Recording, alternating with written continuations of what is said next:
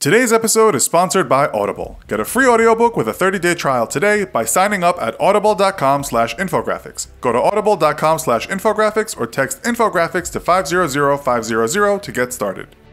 We all know the atomic bomb is very dangerous, said the 1950s American-made educational short film Duck and Cover.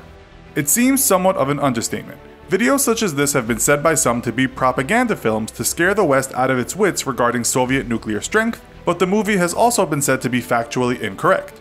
Some scientists stated that by the time you'd see something to duck and cover from, it would be too late. Others said it all depends on distance.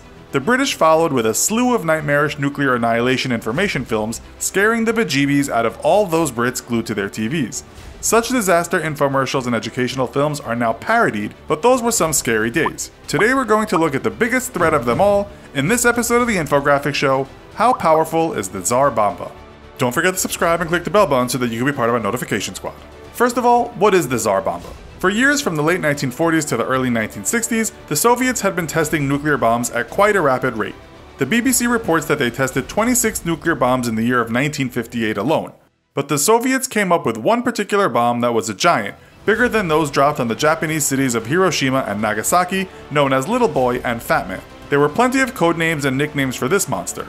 Project 27000, Product Code 202, RDS 220, RDS 202, Kuzinka Mat, Vanya, and more, but it came to be known in the West as the Tsar Bomb or King of Bombs. It weighed 60,000 pounds, was 25 feet in length, and had a diameter of 6.9 feet. It had a blast yield of 50 megatons, but it said the Soviets could produce a 100 megaton bomb. The BBC reports it was more than a metal monstrosity too big to fit inside even the largest aircraft, it was a city destroyer, a weapon of last resort. To put that into context, it was so powerful that the plane dropping the bomb on the one and only test only had a 50% chance of surviving. They had to deploy a one ton parachute holding the bomb so it could drop slowly and then detonate. The pilots should then have been 30 miles away, and they had a chance of surviving. When it did drop and detonate on Severny Island, part of the Novaya Zemlya archipelago about 250 miles off the Russian mainland, the blast could be seen 630 miles away. The actual mushroom cloud reached 40 miles in height and spread over a distance of around 63 miles. The worst thing is, people actually lived in the village of Severny, which was about 34 miles from ground zero. It said all the houses there were completely destroyed, but the death toll has never been reported. Even in places hundreds of miles from the detonation site, houses were damaged. The pilot did escape, but not before he lost control of his plane and it plummeted around 3,300 feet. According to one source, the heat wave from the explosion was enough to cause third degree burns to human skin as far away as 60 miles, and the electromagnetic energy generated by the event crippled communication in the northern Soviet Union for more than an hour. It's also reported that the blast shattered windows as far away as Norway and Finland. Now, if we consider that the bomb that fell on Hiroshima on August 6, 1945 killed 60,000 to 80,000 people instantly on detonation, and in total about 135,000 or more due to radiation sickness, we might ask what kind of damage this monster might have done if it had been dropped on, say, an American city. We should also state that years after the Japanese destruction, scores of people were said to have suffered from cancer as a result of radiation. The Tsar bomb was said to be 1500 times more powerful than those bombs dropped on Hiroshima and Nagasaki. Some have said it was even too big, with one US analyst stating it's hard to find a use for it unless you want to knock down very large cities. It simply would be too big to use. With this in mind, what if one of those bombs was dropped on a city such as London or New York? Would the duck and cover advice be any good? According to NukeMap, a website that actually attempts to illustrate what would happen in such a situation, if the Tsar bomb was dropped on London with the population as it is now, about 5.8 million people would die.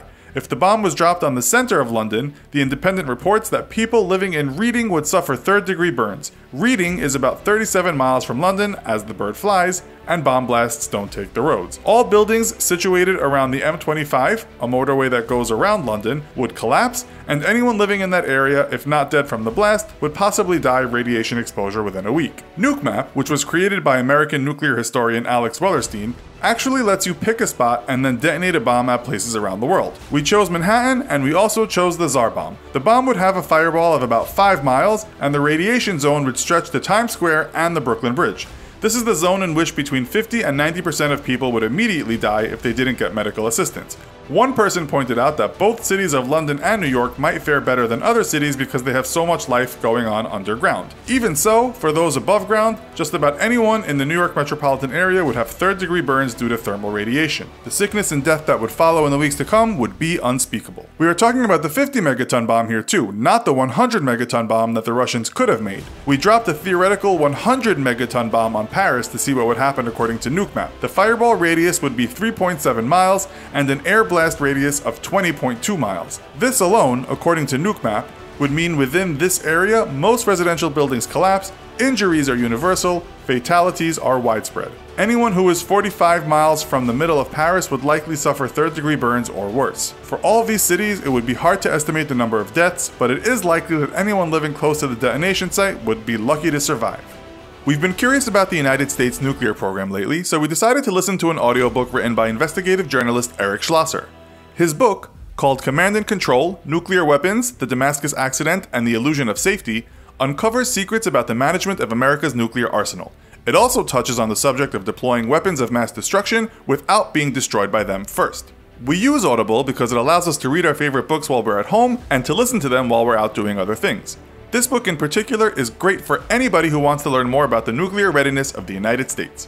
Audible is offering our listeners a free audiobook with a 30-day trial membership so you can check out the book we just talked about risk-free. Download a title free and start listening. It's that easy. Go to audible.com slash infographics or text infographics to 500500 to get started today.